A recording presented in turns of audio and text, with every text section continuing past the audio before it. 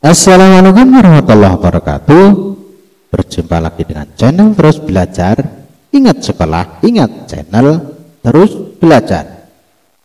Pada kesempatan kali ini channel Terus Belajar akan membacakan kunci dan jawaban Bahasa Indonesia kelas 4 semester 1 tahun pelajaran 2023-2024 Berilah tanda silang pada huruf A, B, C atau D sesuai jawaban yang paling tepat. Nomor satu, ketakutan yang sangat berlebihan terhadap benda atau keadaan tertentu yang dapat menghambat kehidupan penderitanya dinamakan A. Trauma B. Amnesia C. Psikotik D. Fobia Jawaban yang betul adalah fobia D. Nomor dua, berikut ini yang merupakan cara untuk membantu orang yang mengalami gejala fobia adalah A. Mengalihkan perhatiannya ke hal lain B. Mendekatkan dengan benda yang membuatnya takut C. Pura-pura tidak tahu D. Membiarkannya ketakutan Jawabannya adalah A. Mengalihkan perhatiannya ke hal lain Nomor tiga, perhatikan pernyataan berikut ini. Nomor satu, tubuh gemetar. Dua, sakit kepala hebat. Tiga, terlihat ceria. Empat, biasa saja.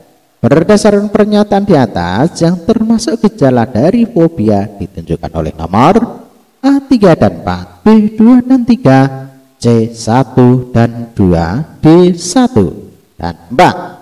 Jawaban yang betul adalah iya. Satu dan dua. C. Tubuh gemetar, sakit kepala, hebat. Nomor empat, fobia terhadap guntur dan ilat dinamakan A. Kaulrofobia B. Astrofobia D.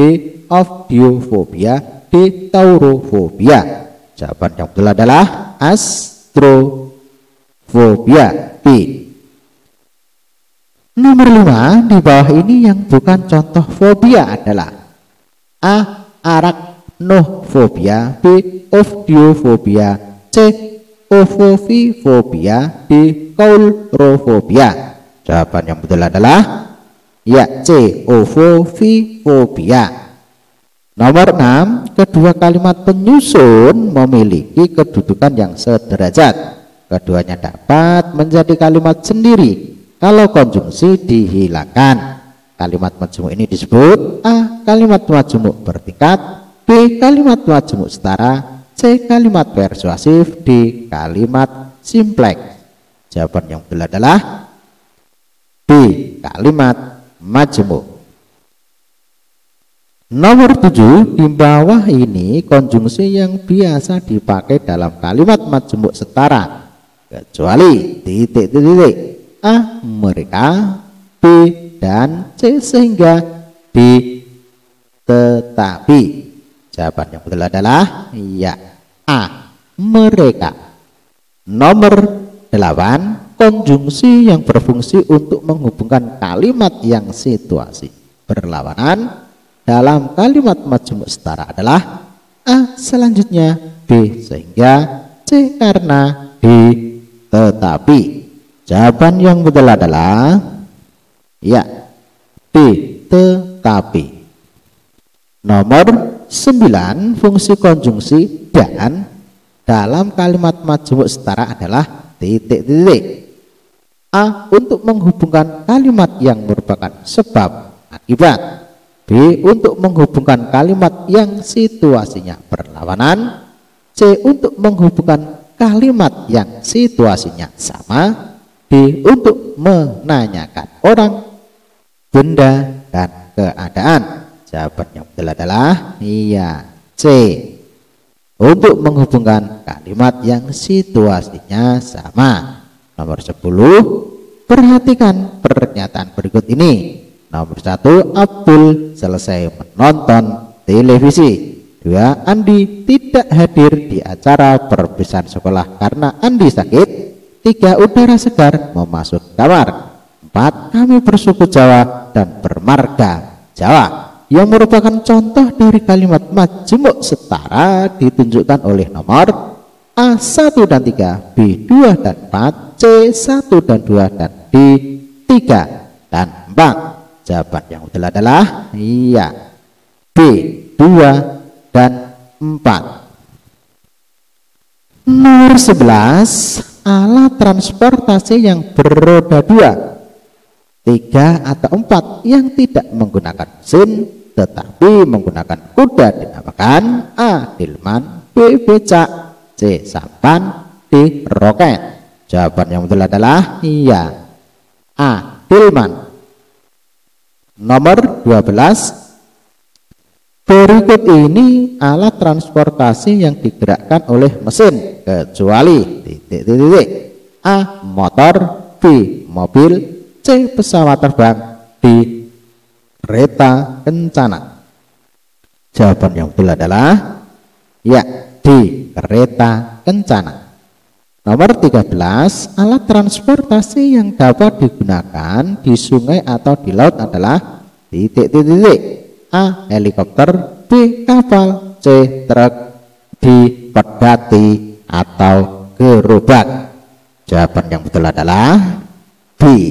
Kapal Soal nomor 14, capung dalam burung terbang di udara.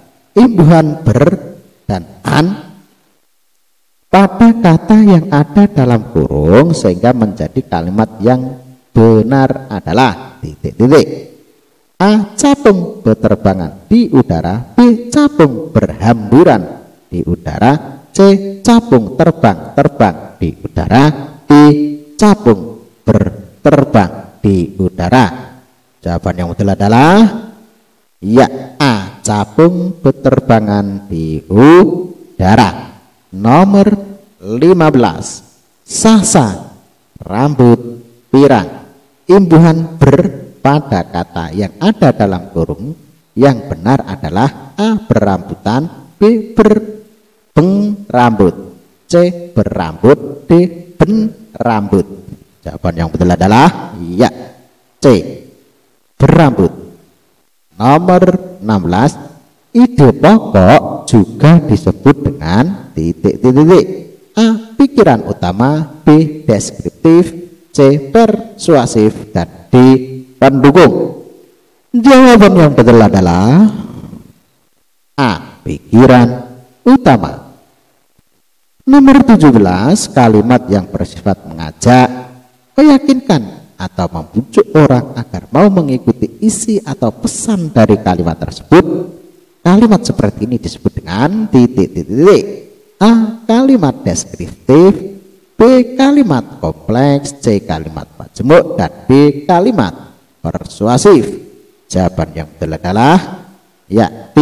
kalimat persuasif nomor 18 orang yang mewawancarai atau mengajukan pertanyaan adalah titik-titik A. Moderator B. Pewawancara C. Dosen dan D. Informan Jawaban yang betul adalah Ya pewawancara B jawabannya Nomor 19 Bahasa yang harus digunakan saat melakukan wawancara adalah A. Berbahasa Indonesia yang baik Singkat dan jelas B. Menggunakan bahasa yang sedang ngetren saat ini. C. Bahasa yang menggunakan kalimat yang panjang-panjang. D. Menggunakan bahasa yang singkat dan padat. Jawaban yang betul adalah ya A. Berbahasa Indonesia yang baik, singkat dan jelas.